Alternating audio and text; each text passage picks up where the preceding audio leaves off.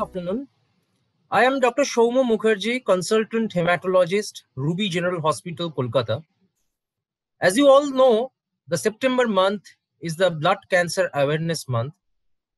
So it's my endeavor to give some details about one of the blood cancer known as lymphoma. So what is lymphoma? Lymphoma is a malignancy of the lymphoid tissues of our body. There are innumerable lymph nodes in our body which helps to prevent or to create an environment when the bacteria or other viruses can be inhibited. So basically, they are very important tools to combat the infection. So when there is some malignant transformation occurs in our lymph node, it's known as lymphoma. So how a patient presents with lymphoma? What are the signs and symptoms of the disease? Lymphoma mainly affects the adult populations, but few groups of lymphoma can affect children also.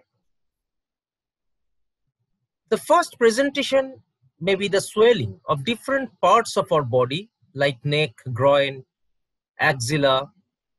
Patient notices gradual swelling of the lymph nodes. Mainly they are painless in nature. Sometimes mild pain can be present. Along with that, there may be fever, low-grade fever, persistent fever for long duration without any evidence of any infection.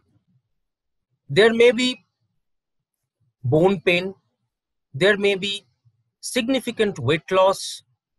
There may be night sweats, drenching night sweats. So these are the different manifestations of lymphoma. How you diagnose the lymphoma? We have to go for proper clinical examination. We have to take the lymph node biopsy and go for a few pathological examination, histopathological examination and immunohistochemistry. And after that, we have to go for proper staging of the disease by doing different radiological tests like CT scan, MRI, PET scan. So after your diagnosis is over, then we plan for the treatment. Chemotherapy is the mainstay of treatment for lymphoma. And in few cases, radiation also is effective.